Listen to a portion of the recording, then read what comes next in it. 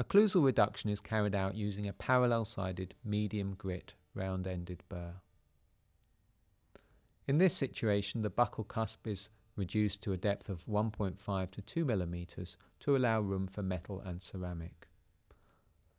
The outline of the cusp is retained at all times to maintain resistance form.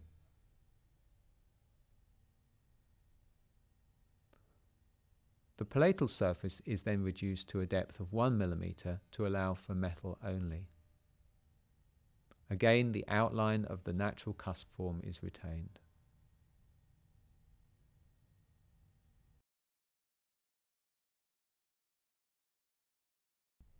The functional cusp bevel is carried out to a depth of 2 mm on the palatal cusp for the upper tooth.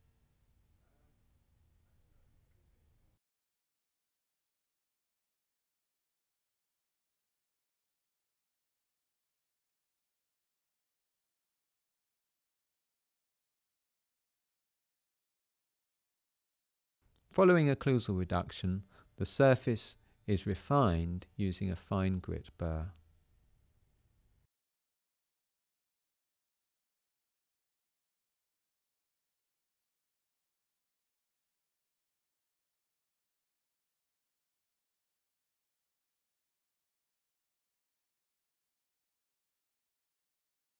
Interproximal reduction is carried out using a fine pointed medium grit burr. The burr hand is supported by the free hand at all times, and a smooth action is employed to avoid damage to the adjacent tooth. It's possible to insert a small strip of metal between the prepared tooth and the adjacent tooth to prevent damage.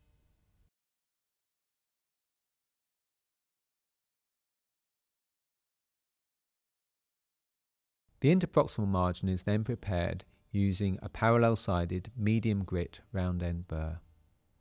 The degree of reduction will depend on the amount of ceramic show required and will vary between 0.7 and 1.5 millimeters.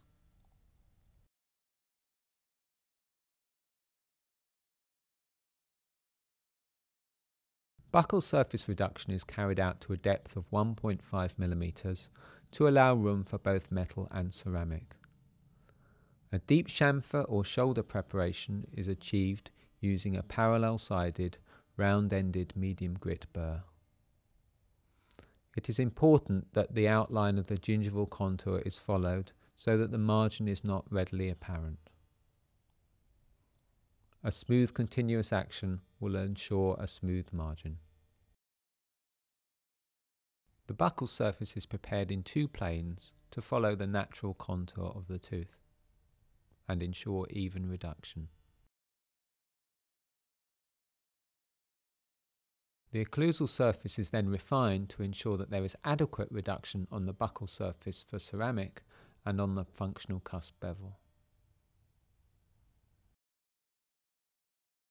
The palatal surface of the crown is usually finished using metal alone, so the degree of reduction is in the order of 0.7 to 1 millimeter.